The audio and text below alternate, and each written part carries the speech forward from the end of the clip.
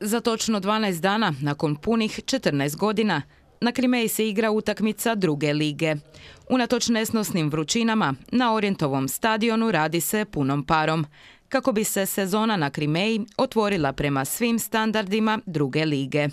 Prvi osnovni uvjet za licenciranje je postavljanje stolica. Kapacitet mora biti preko tisuću mjesta.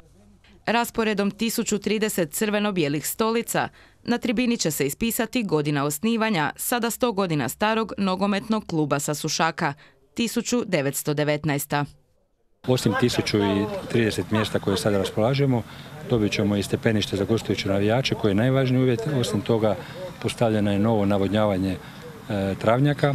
E, na, neka mjesta se namješta trava. E, radi se kontrolna prostorija za MUP VIP prostor, jednostavno Krimeja je jedno ogromno gradilište i trka je sa vremenom. Jer sve mora biti spremno do 24. kolovoza, kada će na Krimeji Orijent zaigrati protiv Dinama 2.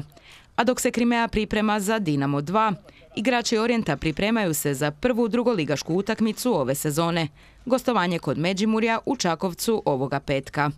Mi imamo jednu mladu poletnu e, momčad e, sa dva, tri iskusnije igrača kao što su Tadejević, Berković, Gerc koja će ovdje puniti ovaj stadion i uvjereni smo da imamo, da neće biti lako, ali smo uvjereni da, imamo, da možemo konkurentno se u drugoj ligi e, natjecati i stabilizirati da, da opstanemo u ligi.